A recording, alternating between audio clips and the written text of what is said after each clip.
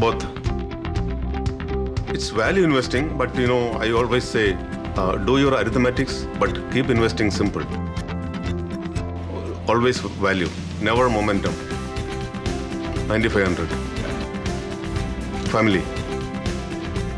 Kumarakom.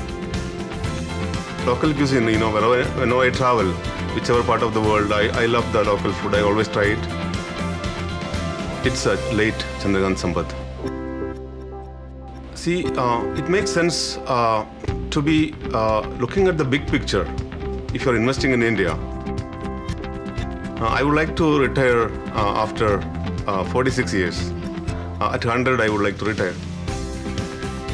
I feel real estate. I think there is a lot of value to be unlocked. Investors should have a you know ear for that.